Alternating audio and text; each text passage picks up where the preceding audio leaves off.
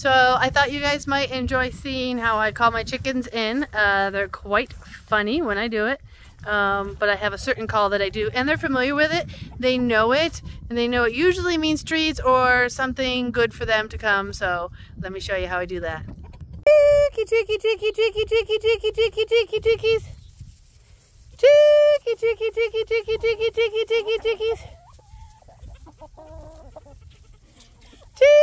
Tiki, tiki, tiki, tiki, tiki.